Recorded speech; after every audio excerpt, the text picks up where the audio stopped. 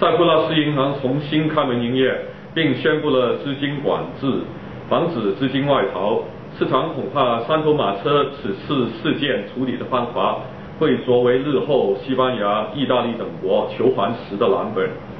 上周欧元曾跌至最低1.2750美元，尽管大额存户呃亏损超过六成，塞浦路斯事件已告一段落。本周初欧元反弹至1.2870，短期欧元料于1.27至1.31之间波动。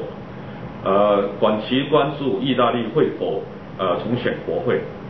中国三月份官方以及呃汇丰制造业采购经理人指数回升，官方的 PMI 小幅反弹至五十点九，逊于预期。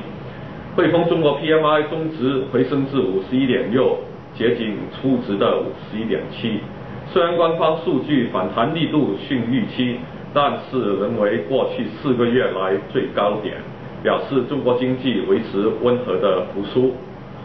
澳洲呃央行议息后维持呃指标利率于三帕不变。央行表示过去减息效果显著，同时中国经济回稳，帮助本地资源矿产出口，经济下行风险减少。央行言论带出投资亮点，并进一步降低这个降息的预期，料澳币稳步的上升。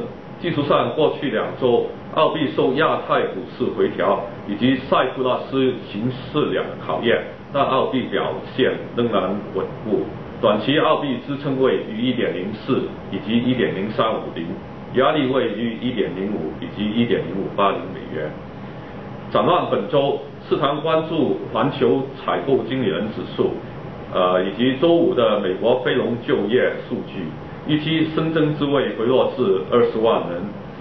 另外，本周欧洲、英国、日本将举行呃这个央行政策会议，市场注视日本新任的这个央行总裁黑田东彦会否加快量宽刺激经济的策略。